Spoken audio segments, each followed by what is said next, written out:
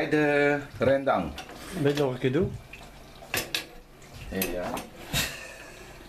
Is het om te pesten of eh, heb je niet aangezet of zo? Eh, hoe noemde je dit nou ook alweer?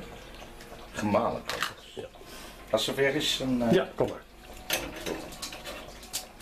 Dit is de gemalen kokos.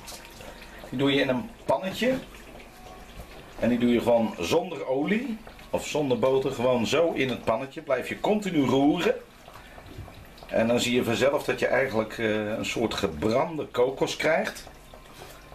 En als het deze mooie bruine kleur hebt gekregen, dan doen we dat bij de rendang. Gaat er allemaal bij. Zo.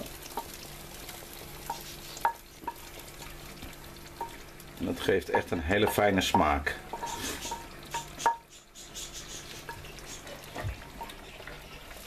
Dat roeren we er lekker doorheen.